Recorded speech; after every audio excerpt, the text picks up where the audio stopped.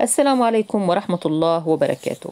عاجل وردنا الآن هذا هو قرار الفيفا المتوقع. طبعا حسب خبراء كثيرة في التحكيم قالوا هذا البيانات. طبعا أول شيء انكشفت المؤامرة. قرار الفيفا المرتقب حسب الخبراء لإعادة المباراة. طبعا أمور كثيرة ظهرت في هذا الملف. كل يوم أمر جديد يظهر. أتمنى قبل ما نبدأ بهذا الموضوع أتمنى من أخواني وأخواتي فضلا وليس بالأمر. ديروا ال like أتمنى من أخواتي ديروا ال like والاشتراك في القناة. في الأونة الأخيرة وقعت ضجة إعلامية كبيرة وأصبحت كل منصات التواصل الاجتماعي وال social media تتناقل أخبار وتصريحات. وفي بعض الأحيان تسريبات فيها الصحيح وفيها التي لم تعتمد على صحة المعلومة. المؤامرة ضد الفريق الوطني الجزائري موجودة وظاهرة للعيان سواء كانت في مباراة العودة بين الفريق الجزائري والفريق الكاميروني وكانت نتيجة الذهاب كما يعلم الجميع هدف للجزائر صفر للكاميرون في ملعب نجومة بالذات. وبما أنه لحد الآن الفيفا لم تقرر في ملف مباراة الجزائر والكاميرون هذه هي القرارات المتوقعة حسب خبراء في التحكيم. أولا إقصاء منتخب الكاميرون في المونديال ومعاقبته لمدة نسختين من المونديال. توقيف جسامة المدة حسب قرار الفيفا. وممكن أن تسلب منه صافرة التحكيم للأبد. اثنين إقصاء الكاميرون وإعادة المباراة. ومعاقبة الحكم في إقصائه من المونديال. هذه بعض القرارات المتوقعة بإذن الله تعالى ونتمنى أن يتم إجراؤها. طبعا الجميع يعرف الظلم الذي وقع على الجزائر في المباراة التي كانت تقام في الجزائر حيث إنه كان من المتوقع فوز الجزائر لآخر لحظة. ولكن الحكم بكاري ظلم الفريق الجزائر بأخطاء واضحة جدا موجودة في المباراة. أخطاء تحكيمية كانت واضحة جدا. حسب حفيظ دراج لملف الفاف الذي تم توجيهه للفيفا فيه الأدلة التالية. صور صور لأخطاء جسامة ملف لقاء جسامة. تمام ملف لقاء جسامة بوسائطه في المغرب وهو ملف الرشوة. هذا بالنسبة لما قاله حفيظ دراجي. طبعا طبعا هناك أمور كثيرة. طبعا الإعلامي الجزائري حفيظ دراجي حسب علمه بالملقب به بأنه إعلامي صادق.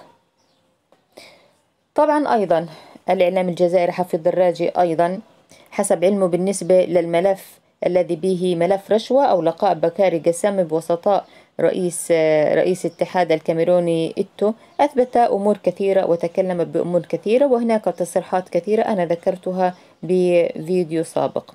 وبما أن الفيفا لحد الآن لم تقرر بعد هذه الملفات طبعا إحنا ذكرنا القرارات التي سوف تأخذها الفيفا ونتمنى أيضا أنها تكون جادة في هذه القرارات.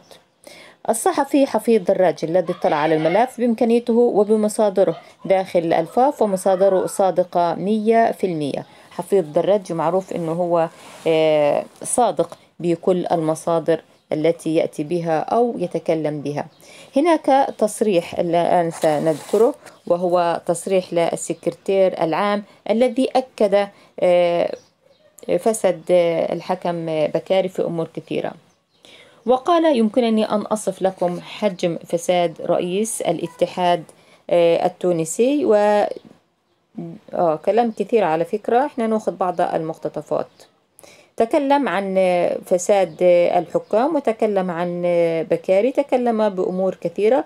وقال إنهم يجاملون مسؤولي الكاف بالتكفل بمصاريف أبنائهم في الجامعات بتونس والمغرب وغيرهم مجاملات ويقول أكبر دولة تتم مجاملتها على مستوى الاتحاد الأفريقي هي ذكر طبعا أسماء بلاد كثيرة لا نريد أن نذكرها طبعا. وقال أيضا الجزائر هي أكبر مكروهين في الاتحاد الإفريقي في كاف. والاتحاد الإفريقي عين بكاري جسامة حكما لنصف نهائي كأس العالم. طبعا أكيد لا وليس العالم نهائي كأس إفريقيا.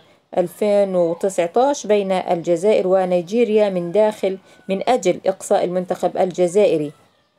رياض محرز كان له رأي آخر في آخر دقيقة من المباراة.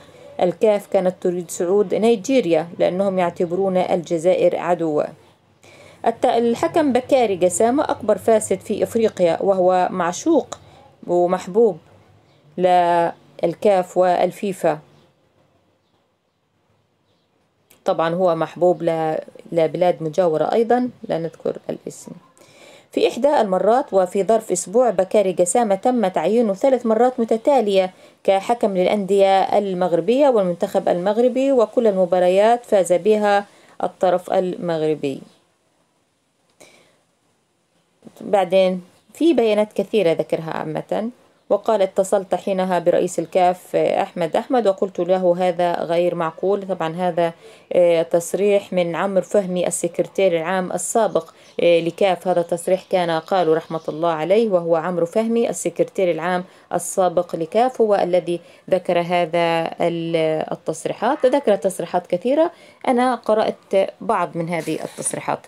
طبعا إحنا هون إحنا بنتمنى أنه تفوز الجزائر بإذن الله تعالى. نتمنى أنه حقها آه، يرجع بإذن الله آه، تعالى, تعالى أنه يكون حق الجزائر راجع وإن شاء الله أنه الفيفا قريبا سوف تعلن خبر تأهل الجزائر أو إعادة المباراة. نحن نتمنى طبعا تأهل الجزائر لأنه بيانات كثيرة تصريحات كثيرة فيديوهات كثيرة تؤكد أنه في رشوة واضحة لبكاري جسامة. أيضا الملف الذي تسرب هو في المطار.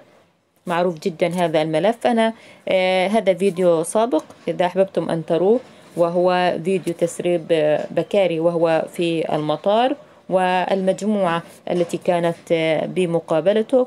أيضا الفيديو الذي الفيديو السابق موجود في شرح كامل.